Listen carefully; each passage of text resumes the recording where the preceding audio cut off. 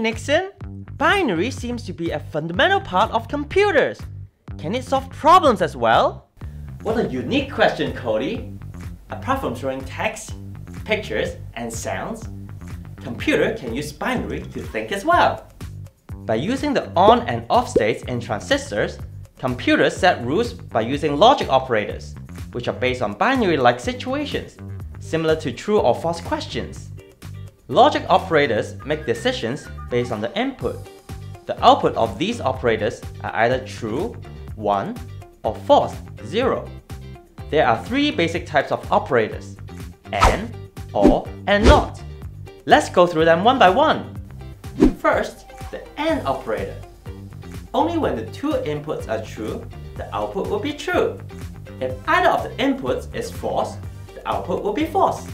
So, if we want to find something that is orange and chipmunk, your computer will only show you things that meet both of these conditions, like me. But if it's only orange, but not chipmunk, we will not find me. Second, we have the OR operator. Most of the time, the output is true, unless both of the inputs are false.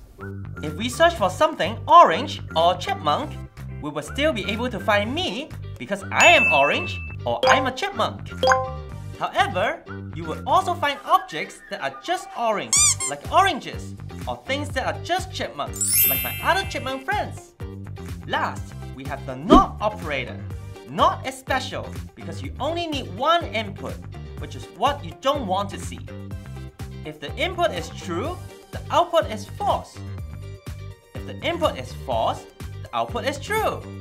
If we search for something not a chipmunk, you would not be able to find me, or anything that is a chipmunk. If you wanted to find me, you would have to use a word that does not describe me, like boring. Here is a fun fact. We call these three logics AND, OR, and NOT Boolean logic. The word Boolean is named after George Boole, who first created the system in the mid-19th century. Want to watch the full video? Sign up now and get started with your own free trial.